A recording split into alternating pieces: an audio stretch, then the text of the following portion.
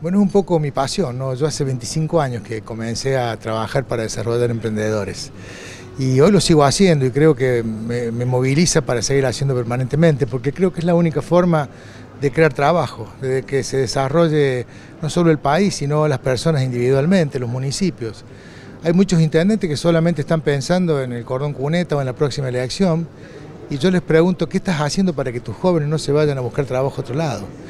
Y no es tan difícil lograr ver cuáles son las ventajas competitivas de la región, las oportunidades y crear una masa crítica de emprendedores locales que puedan quedarse aquí este, para desarrollar nuestras regiones.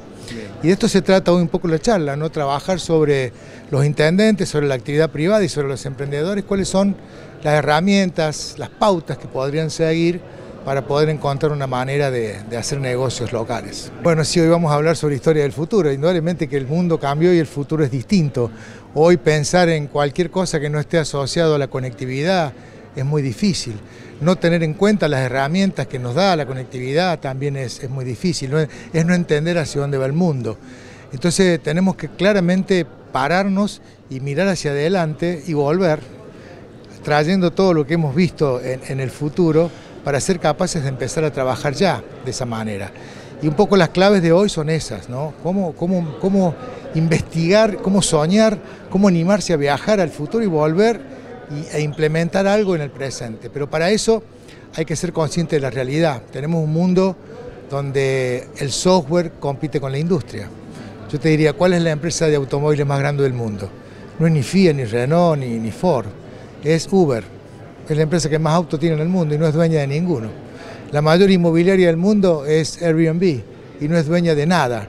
Entonces hoy tenemos una modalidad de negocio donde el mundo está cambiando la forma en que se relaciona con sus necesidades. Vos ya no vas al cine, bajas una película, la ves por el teléfono o la ves en la computadora.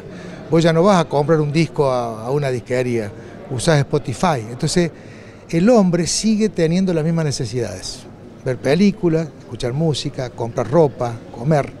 Lo que cambia es cómo se relaciona con esa necesidad. Y la misión del emprendedor es encontrar cómo satisfacer esa necesidad de una manera distinta. Y ahí están las oportunidades. Para ahora, ¿y qué pasa con los que están por lanzarse justamente a emprender, al mercado, al mundo? Bueno, esos son los que primero tienen que decidir qué van a hacer. Y para decidir qué van a hacer, yo siempre les digo, no busquen en preguntarle a otro, busquen en su interior vean qué los apasiona, qué es lo que aman. Porque aquel que hace algo que ama seguramente va a encontrar la posibilidad de, ser feliz, de levantarse todos los días pensando que está haciendo algo maravilloso. La otra, ¿cuál es? Trabajar para alguien. Entonces uno se levanta diciendo, uy, tengo que ir a trabajar.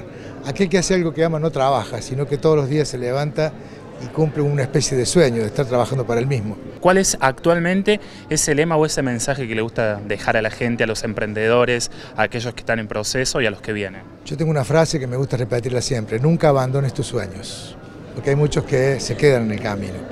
Yo sigo siendo un emprendedor, en el último dos años creo tres empresas nuevas y sigue teniendo la misma, las mismas ganas, la misma pasión que tenía hace 20 años.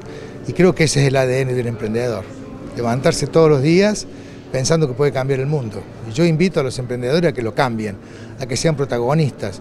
Necesitamos emprendedores que asuman también la parte política, que salga toda esta gente que nos gobierna en los distintos estamentos y entre gente nueva, gente con valores, gente que piense en cómo cambiar la vida de los demás y no la vida propia. Y hoy tenemos ese problema, necesitamos que los jóvenes se comprometan a ser los dirigentes del futuro y los líderes del futuro. Es la única forma de poder cambiar este país. Compromiso, liderazgo, ¿no? Son las dos cosas que hacen que un país pueda cambiar, y especialmente valores. Valores simples, ¿no?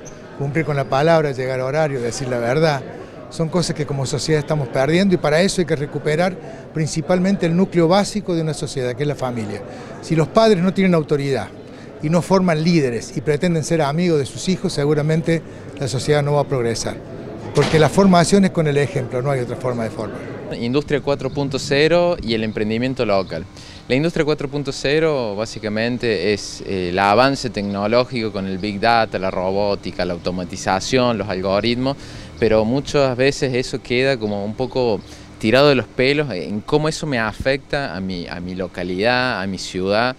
Entonces, la idea de la charla de hoy es poder traer todos esos conceptos muy abstractos como el blockchain, la inteligencia artificial, la realidad aumentada, a la realidad local, a, cómo nos afecta hoy en día en nuestras calles, en nuestro vecindario, en nuestro pueblo, en nuestra ciudad. Entonces, bueno, un poco es tensar esos conceptos tan abstractos con, nuestro, con nuestra realidad concreta. Bien, ir adaptándolos a la realidad de cada uno, por ejemplo. Exactamente, que cómo, cómo, eso nos va a ir afectando en lo cotidiano, ¿no? Uno tiene al alcance en, el smartphone este, el acceso a mucha tecnología, pero muchas veces somos solo consumidores de esa tecnología, ¿no? No, no la utilizamos para desarrollar nuevos productos, nuevos nuevos servicios, entonces la idea de los emprendedores y las emprendedoras que se acercan hoy, que vean todo el potencial que hay a la hora de, hablar de esas tecnologías. Bien, y ampliar que esto se puede aplicar justamente a un amplio abanico de rubros. Sí, totalmente. Desde una veterinaria hasta una pinturería, hasta servicios de psicología,